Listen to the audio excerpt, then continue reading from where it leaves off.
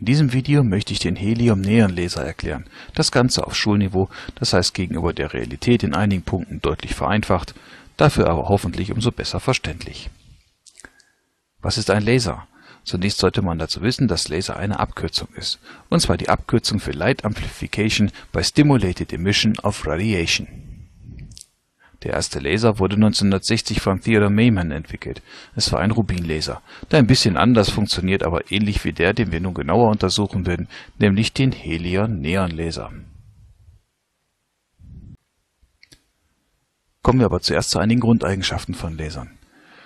Laser erzeugen Licht. Das heißt also, Laserlicht ist eigentlich ganz normales Licht, hat aber einige besondere Eigenschaften. Vor allem sind dazu zu nennen, das Licht ist monochromatisch. Das heißt, es besteht nur aus einer einzigen Wellenlänge bzw. eine einzige Farbe anschaulich gesehen. Das Lichtbündel hat parallele Randstrahlen. Das heißt, es läuft nicht wie zum Beispiel beim Licht einer Taschenlampe auseinander oder zusammen, sondern sehr gut parallel strahlbündig. Außerdem hat das Licht eine große Kohärenzlänge, das heißt es besteht nicht aus kurzen Wellenzügen, sondern die Wellenzüge sind sehr, sehr lang, mitunter mehrere Kilometer. Laser gelten als gefährlich, aber warum? Dazu muss man wissen, wie Sehen funktioniert. Stellen wir uns etwa vor, jemand leuchtet mit einem Laserpointer an die Wand und wir sehen den roten Punkt dort. Warum sehen wir den roten Punkt? Weil Licht von dem Punkt in unser Auge fällt. Das Auge ist ein Lichtempfänger. Da kommt doch eigentlich auch Laserlicht ins Auge. Und die Frage ist nur, wie viel. Ich mache das mal in einer Prinzipskizze deutlich. Hier haben wir links den Laserpointer, rechts die Wand. Und der Laserpointer schießt unser Licht auf die Wand. Und von der Wand geht das Licht in alle Richtungen weg. Egal aus welcher Richtung wir auf die Wand schauen, von dort kommt etwas Laserlicht in unser Auge. Der Punkt ist recht hell zu sehen, dabei kommt gar nicht besonders viel Licht in unser Auge. Die Pupille hat etwa 5 mm Durchmesser, das heißt, wenn ich mit der Kreisflächenformel rechne, ungefähr 20 Quadratmillimeter Fläche. Stehen wir etwa in einer Meter Entfernung zu diesem Laser-Auftreffpunkt auf der Wand, so hat sich das Licht auf eine halbkugelartige Oberfläche verteilt. Wenn man dort mit der richtigen Formel rechnet, kommt man auf etwa 12,57 Quadratmeter. Das heißt, nur 20 Quadratmillimeter von den 12,57 Quadratmetern fallen in unser Auge. Wenn man das nachrechnet, dann sind das 0,00016 Prozent des gesamten Lichtes. Wird hingegen der Laserstrahl direkt in das Auge gerichtet, so kriegt man 100 Prozent ab. Das ist dann als Kehrwert 628.500 mal heller. Sprich, es ist einfach viel zu viel Licht für die Augenzellen und diese gehen hinten auf der Netzhaut kaputt und sind für immer dahin. Die eigentliche Erklärung zum Laser möchte ich in vier Kapitel unterteilen.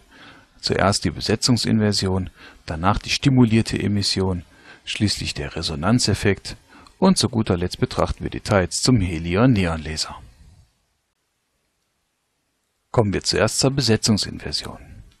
Voraussetzung ist das bekannte Pauli-Prinzip. Das besagt, dass in einem Atom keine zwei oder mehr Elektronen in allen Quantenzahlen übereinstimmen dürfen. Das führt dazu, dass jedes Energieniveau, das in einem Atom existiert, eine bestimmte Maximalanzahl an Elektronen hat, die es besetzen können. Im Normalfall ist es so, dass die unteren Energieniveaus fast voll besetzt sind, die oberen nur teilweise oder auch gar nicht. Voraussetzung für den Lasereffekt ist aber eine sogenannte Besetzungsinversion. Um die zu verstehen, male ich das Ganze mal in einem Schema auf, einem einfachen Schema mit nur zwei Energieniveaus. Wir haben also ein niedriges Energieniveau, das mit vielen Elektronen besetzt ist, möglicherweise vollständig oder fast vollständig, und ein hohes Energieniveau, das kaum besetzt ist. Und irgendwie müssen wir das hinkriegen, dass ganz viele Elektronen in dem Atom von den niedrigen auf das hohe Energieniveau angehoben werden, sodass das niedrige Energieniveau löchrig und das hohe Energieniveau gut besetzt ist. Das heißt, normale Besetzung ist die mit den vielen Elektronen auf dem niedrigen Niveau, bei der Besetzungsinversion ist es andersherum. Um das zu erreichen, müssen wir permanent Energie hinzufügen. Das nennt man im Zusammenhang mit Laser Pumpen. Im Falle des Rubinlasers von 1960 geschah das durch Lichtblitze durch die Quarzlampe. Wir benutzen beim Helion-Neon-Laser dann Elektronenstöße. Der zweite Aspekt, den man zum Verständnis des Lasereffektes erfassen muss, ist die sogenannte stimulierte Emission. Dazu wiederhole ich zunächst, was wir eigentlich von der Spontanemission her kennen. Die spontane Emission kann man zum Beispiel anhand von zwei Energieniveaus und ein Elektron, das sich auf dem unteren Energieniveau befindet, klarmachen. Das Atom wird angeregt, zum Beispiel durch ein einfallendes Photon oder durch einen Elektronenstoß. Dadurch geht das gebundene Elektron auf ein höheres Energieniveau. Und nach relativ kurzer Zeit, wir reden hier etwa von der Größenordnung 10 hoch minus 8 Sekunden, fällt es von dem oberen Energieniveau wieder zurück in das Grundenergieniveau, wobei ein Photon erzeugt wird, das in diesem Fall die gleiche Frequenz hat wie das Photon, das die Anregung durchgeführt hat. Als Bild kann man sich dazu veranschaulichen, man steht da und sieht, wie ein Apfel spontan irgendwann einmal vom Baum fällt. Das heißt, für das Runterfallen ist kein Auslöser nötig. Anders die stimulierte Emission, die auch induzierte Emission genannt wird. Voraussetzung, dass die stattfinden kann, ist, dass der angeregte Zustand metastabil ist. Das heißt, er wird um 10 hoch minus 3 Sekunden oder noch länger gehalten. Schauen wir uns also wieder die beiden Energieniveaus im Atom an. Das Elektron ist zunächst noch im unteren Energieniveau. Nun findet die Anregung statt und das Elektron ist auf dem oberen Energieniveau und bleibt dort erstmal für ein ganzes Weilchen. Dann kann es passieren, dass ein Photon kommt, das genau der Energiedifferenz W2 minus W1 entspricht, sprich, das auch zur Anregung nötig war. Und dieses Photon macht was ganz Interessantes. Dieses Photon sorgt dafür, dass das Elektron von W2 wieder auf W1 herunterfällt. Dabei verschwindet es nicht, sondern ganz im Gegenteil, es entsteht ein zweites Photon. Dieses zweite Photon ist in vielerlei Hinsicht ein regelrechter Klon des ersten Photons. Es hat die gleiche Frequenz, die gleiche Richtung und die gleiche Phase. Anschaulich kann man sich das so vorstellen, dass man diesmal nicht nur einfach am Baum steht und zuguckt, sondern mit einem Apfel einen zweiten herunterwirft. Kommen wir nun zum dritten Punkt, dem Resonanzeffekt. Betrachten wir dazu den Glaszylinder, der mit den Gasatomen gefüllt ist. Die Gasatome werden von außen irgendwie durch das Pumpen angeregt und fallen danach wieder in den Grundzustand zurück, sodass es zu spontanen Photonenemissionen kommt. Ist der angeregte Zustand metastabil, so kommt es dort auch zu stimulierten Emissionen. Ebenso wie natürlich weiterhin auch spontane Emissionen auftreten.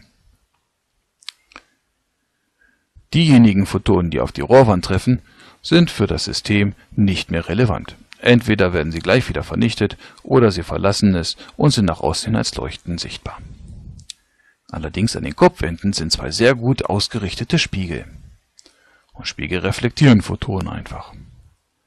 Als Folge treten zwar immer wieder spontane und stimulierte Emissionen auf, aber vor allen Dingen die Photonen, die senkrecht zu den Spiegelflächen fliegen, erzeugen immer mehr Klone ihrer selbst. Dadurch schaukelt sich das System immer weiter auf. Man spricht von einem sich selbst organisierenden System. Der Spiegel rechts ist nicht so hundertprozentig reflektierend, sondern zwei Prozent des Lichtes werden noch durchgelassen. Na und was kommt dort raus? Ganz viele identische Photonenklone. Identisch in Frequenz, Richtung und Phase. Damit das Ganze funktioniert, muss der Spiegelabstand ein ganzzahliges Vielfaches der halben Wellenlänge sein. Grund ist der wellentheoretische Aspekt der Photonen. Es sind ja rechts und links laufende Wellen und damit die sich konstruktiv überlagern, ist genau dieser Spiegelabstand notwendig. Kommen wir nun zum eigentlichen Helium-Neon-Laser. Der Helium-Neon-Laser besteht aus einer Glasröhre, in der die Gase Helium und Neon im Verhältnis von 5 zu 1 vorhanden sind. Ebenfalls ist außen eine Spannungsquelle eingebracht, deren Elektroden im Inneren der Röhre sind und die eine Gasentladungsreaktion erzeugt. Die Gasentladungsreaktion, sprich das Hineinströmen von freien Elektronen, sorgt für das Pumpen, sprich für das Anregen der Atome. Die Spiegel sind in der beschriebenen Art und Weise im richtigen Abstand angebracht ist kein Gehäuse um das Ganze, so kann man auch sehr schön die Gasröhre leuchten sehen. Das sind die spontanen und stimulierten Emissionen in alle Raumrichtungen, sowie rechts den Laserstrahl, der dort austritt. Schauen wir uns nun genauer an, was im Inneren passiert und zeichnen dazu die Energieniveauschemata von Helium und Neon. Auslöser des Ganzen ist eine Anregung des Heliumatoms vom Grundzustand in den Zustand E He2. Dies geschieht durch einen Elektronenstoß in der Gasentladung. Die Elektronen strömen aus der Elektrode in das Gas hinein und stoßen mit dem Heliumatom zusammen. Das geschieht relativ häufig, da das Heliumatom, wie gesagt, etwa fünfmal häufiger vorkommt als das Neonatom. Ebenfalls ist interessant, dass das Energieniveau EHE2 metastabil ist, sodass nun relativ viele Heliumatome in diesem angeregten Zustand sind. Schauen wir uns das Energieniveau von Neon an. Dort gibt es drei relevante Niveaus, wobei interessanterweise das dritte Niveau von Neon ungefähr gleich groß ist wie das von Helium. Und wenn im Rahmen der Brownschen Molekularbewegung diese beiden Atome zusammenstoßen, dann kann, kann es passieren, und es passiert auch, dass die Energie vom Heliumatom an das Neonatom übergeben wird. Die fehlenden 0,05 eV kommen dann aus der Bewegungsenergie der Atome.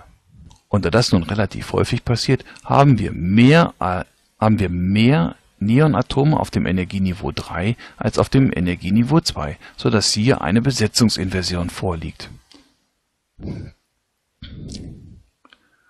Und wenn nun ein Photon auftritt, das genau die richtige Differenz hat, so ist die Wahrscheinlichkeit groß, dass das Neonatom auf dem Niveau Ne3 ist und eine stimulierte Emission stattfindet.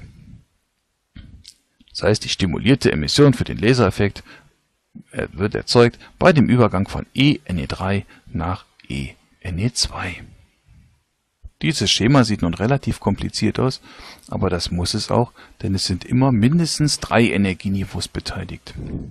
Ja, warum?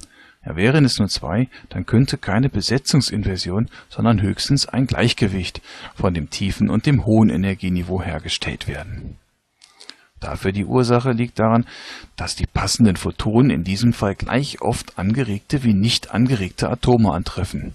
Das heißt also, die Wahrscheinlichkeit für eine Anregung genauso groß ist wie die Wahrscheinlichkeit für eine stimulierte Emission. Kommen wir nun zu ein paar letzten Details. Ich bitte Sie, die Wellenlänge des Helium-Neon-Lasers zu berechnen und die zugehörige Farbe anzugeben. Als kleinen Tipp dazu fangen Sie einfach beim Energieniveau-Schema an. Und falls jemand Lust hat, habe ich auch noch ein Referat im Angebot, nämlich zum Thema technische Anwendung auf Basis eines Lasersystems. In diesem Fall bitte ich, sich per E-Mail bei mir zu melden. Danke.